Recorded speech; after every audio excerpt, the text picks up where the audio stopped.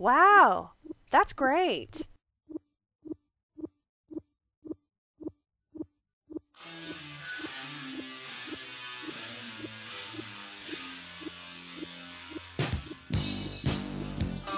Come on if you think you're ready. Pardon me. Hey, how's it going? I've just found a new restaurant, and I heard it's great. I remember you're a true gourmet, so I'd like to invite you to have dinner with me. How about this weekend? Give me a call.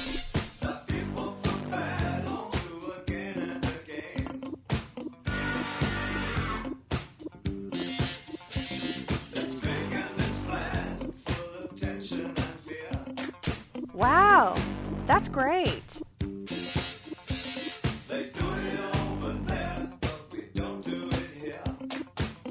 Do you believe in love at first sight?